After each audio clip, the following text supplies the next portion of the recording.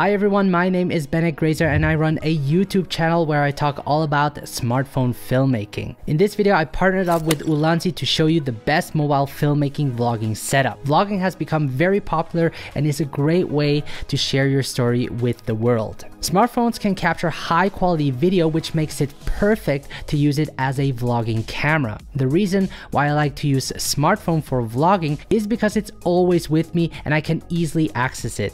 Let's now look at the equipment you need to create high quality videos for your vlogs. It's recommended to invest in some basic equipment to get the most out of your videos. The first thing you will need is a smartphone that is capable of capturing video.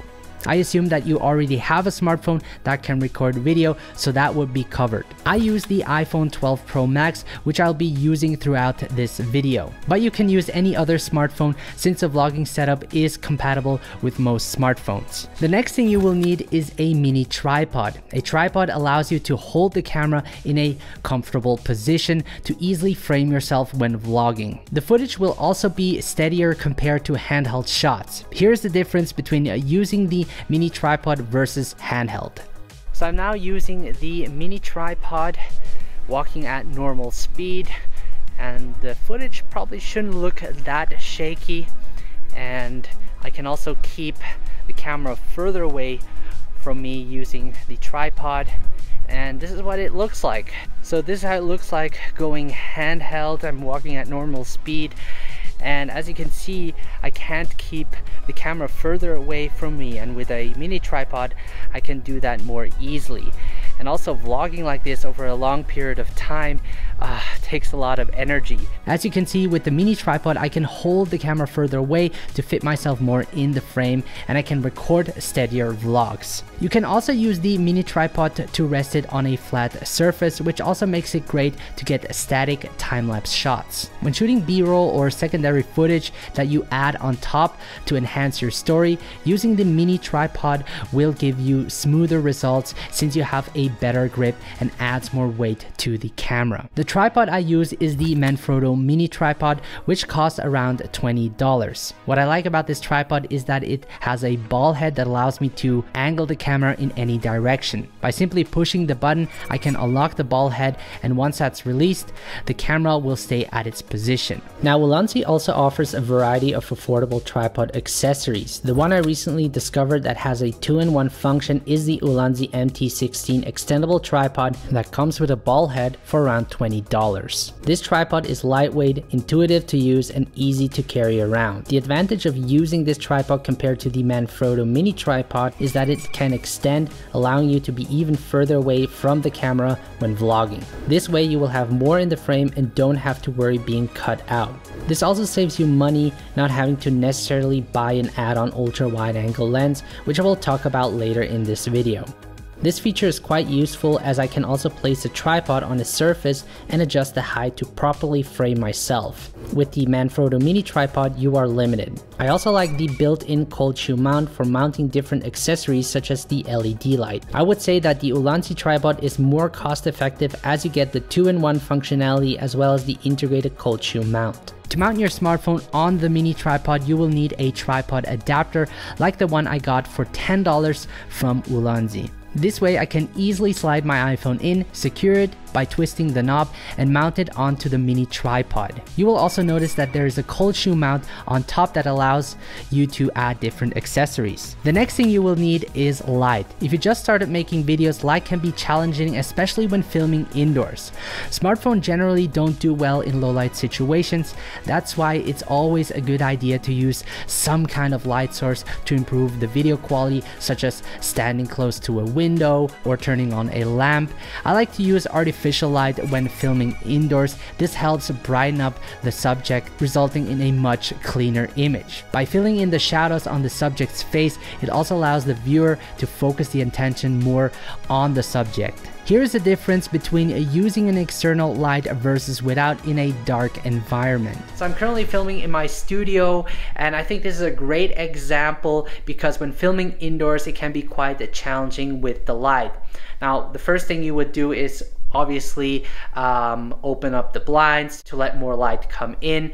But I just wanted to prove to you that there's no window available or you don't have any additional lights to turn on. Having an external light can uh, immensely improve the image quality because smartphones generally don't do well in low light situations. And the more light you can add, the better the image quality will be. So this is how it will look like without the LED light on. I'm gonna turn it on right now. And this is how it looks like with the LED light on. Um, you'll probably notice a difference in image quality and that is the reason I always bring an LED light with me in case I have to film in a dark environment. As you can see, using an external light can immediately improve the image quality. The light I'm using is the Pocket VL49 LED light by Ulanzi which cost $16.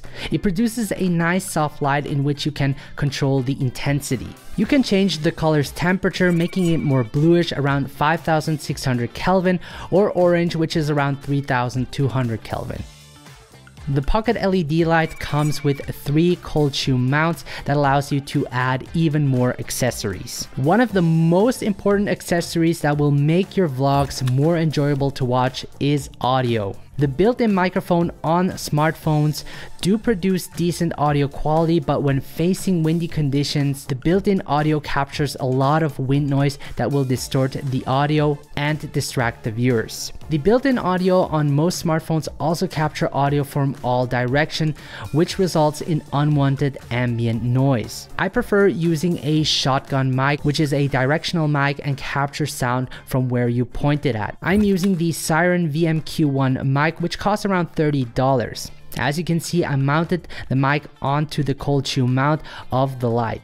Using the Sairen mic allows me to attach a windshield when shooting outdoors. That will help block wind noise. Here is the difference between using the shotgun mic versus without. Alright, so this is a mic test. I'm currently using the internal mic on the iPhone 12 Pro Max and you might hear some wind noise.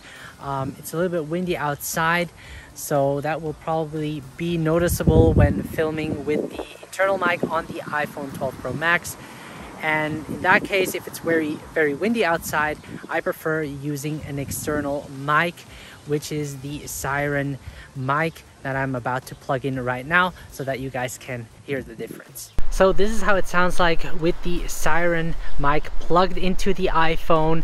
Uh, as I said, there is wind passing by and I have the windshield attached on it so it will block the wind noise which produces a much cleaner audio. So yeah my voice is probably also more present than using the internal mic.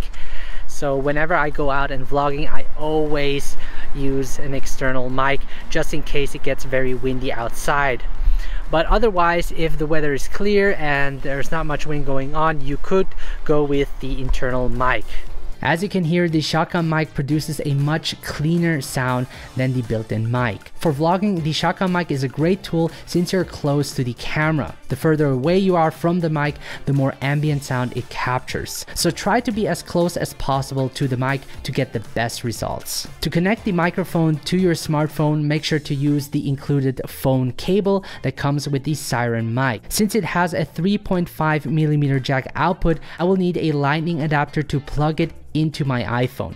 If you're using an Android, you will need a Type-C USB adapter. Once plugged in, you're ready to record.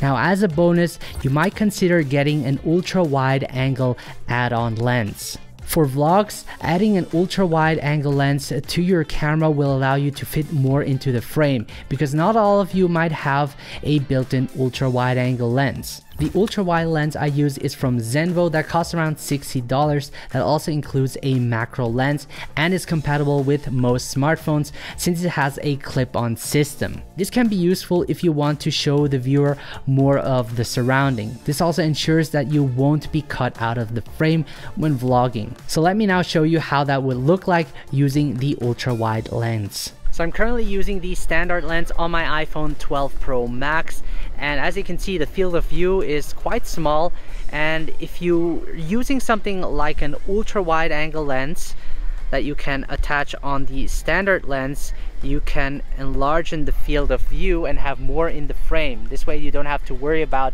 being cut out. So pretty nice. The quality you get out of it is great and can be very useful when filming in tight spaces. So there you have it, that is the gear I use when vlogging with a smartphone. I always keep changing my vlogging setup, but I guess for starters, this is a great vlogging option that you can also adapt for yourself. Keep in mind that vlogging does take a bit of work and by using these tools you can easily improve your video making your story more compelling and engaging to watch. Hopefully this video gave you a good understanding of how to set up a vlog using the right gear for your smartphone. If this video helped you, make sure to leave a like, also subscribe to this channel so that you don't miss out on other tutorials. Thank you so much for watching, stay creative and have fun creating your next vlog.